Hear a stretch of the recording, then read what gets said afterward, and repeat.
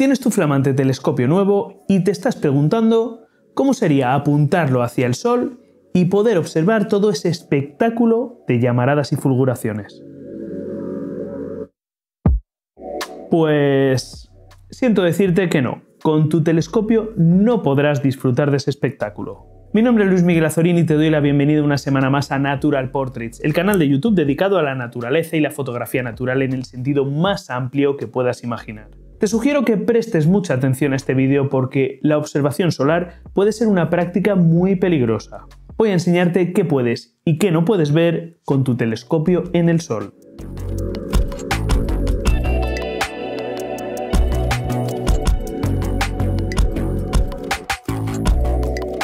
Antes de empezar, muy muy importante, no debes mirar nunca bajo ningún concepto directamente hacia el Sol, ni a simple vista, ni a través de un telescopio, prismáticos, ni ningún tipo de instrumento óptico. Para hacerlo deberás utilizar filtros adecuados y homologados para ello, como por ejemplo los filtros y gafas que se suelen utilizar para observación de eclipses. Si además la observación la vas a hacer con telescopio, recuerda que siempre debes utilizar un filtro adecuado y homologado para utilización con telescopios que sea de tipo frontal, es decir, que se coloque en la parte delantera del telescopio, en la lente principal. No utilices nunca filtros solares de ocular. A día de hoy este tipo de filtros ya no se venden, pero puede ser que encuentres alguno en mercado de segunda mano. Además, el filtro frontal lo tienes que tener siempre colocado antes siquiera de mover el telescopio. Sin estos materiales y sin estas precauciones es extremadamente peligroso observar el Sol, y tu observación puede acabar con serias quemaduras o incluso con ceguera permanente. Pues sí, la verdad es que esto que te acabo de mencionar a mí también me pasó con mi primer telescopio. Tras observar en primer lugar la Luna y algún planeta como Saturno, me pregunté cómo de espectacular sería dirigir mi telescopio hacia el Sol y poder observar esas llamaradas y fulguraciones. Hasta que descubrí que no, era totalmente imposible, al menos con ese instrumento. Antes de entrar al detalle en esto voy a darte algunos detalles sobre nuestra estrella. El Sol es una estrella de color blanco. Sí, es cierto, es de color blanco y de igual manera que durante el amanecer o el atardecer podemos verlo de un color más anaranjado o rojizo debido al efecto de nuestra atmósfera sobre su luz, de la misma manera durante el día podemos ver ese característico tono amarillento también debido al paso de la luz a través de nuestra atmósfera. Tiene un diámetro de casi 1.400.000 kilómetros, es decir, el equivalente a 109 tierras. Representa el 99,8% de toda la masa del sistema solar, es decir, prácticamente todo el sistema solar completo es el Sol. Tiene unos 4.600 millones de años de edad y se encuentra en plena fase principal. Esto quiere decir que por delante tiene aproximadamente la mitad de su vida, otros 4.500 millones de años, hasta convertirse en gigante roja y acabar sus días en forma de una bonita nebulosa planetaria. Y aunque con estos datos nuestro Sol puede parecernos increíblemente grande, en realidad hay que decir que el Sol es una estrella bastante modesta, sobre todo si la comparamos con otras muchas estrellas muchísimo más grandes que el Sol que se encuentran directamente en nuestra propia Vía Láctea.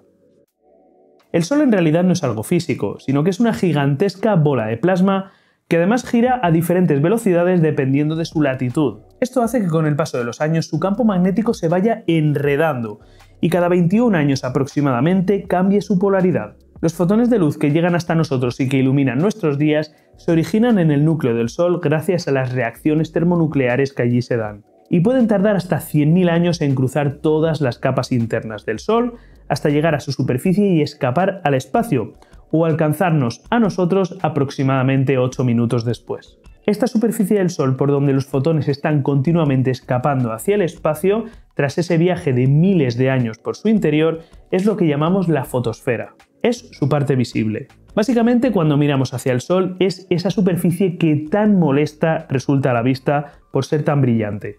Pero insisto, no mires nunca directamente hacia el Sol sin el uso de un filtro homologado.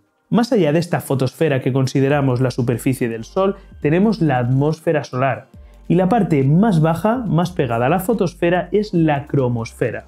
Y es precisamente ahí donde se generan esas llamaradas y esas fulguraciones que resultan tan espectaculares. Y por encima de la cromosfera tendríamos la corona solar. La corona solar es una de las partes más débiles de la atmósfera del Sol y solamente podemos verla desde el espacio o durante los eclipses totales de Sol. Son esos filamentos larguísimos que emergen desde el Sol hacia el espacio. Pues bien, la gran pregunta, ¿por qué no podemos ver directamente con un telescopio las llamaradas solares? Bueno, en realidad podríamos decir que sí, las llamaradas se podrían ver con cualquier telescopio.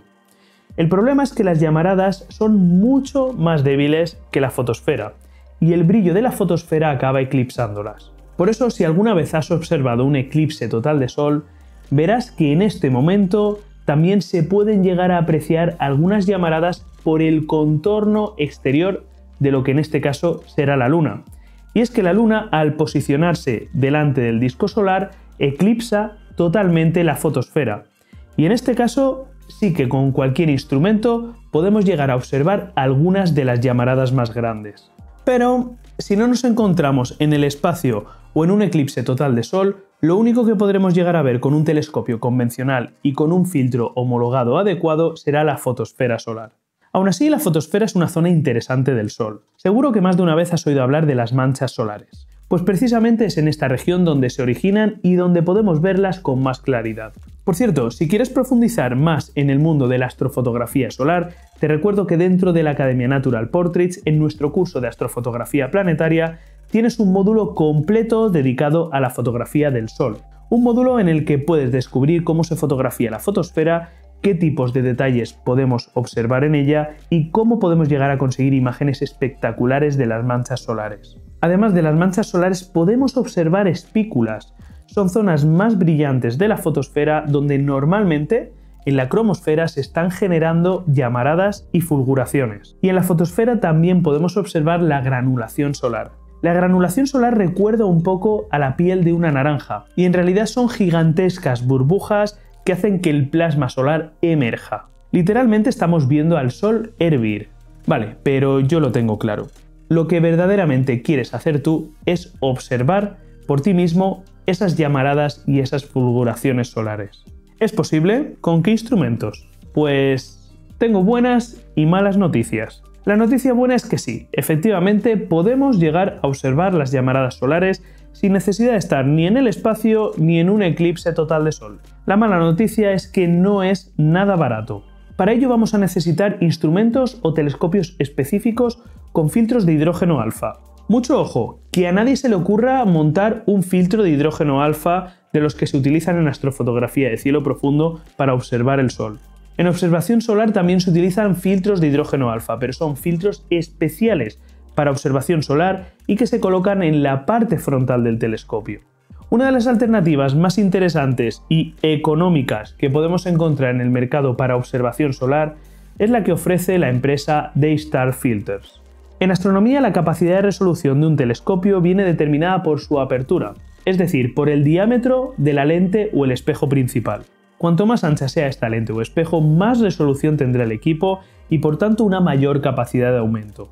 El filtro Daystar Quark Chromosphere es una especie de ocular electrónico que colocaremos directamente en el portaocular de nuestro telescopio, justo antes del ocular que utilizaremos para observar o de la cámara que utilizaremos para fotografiar.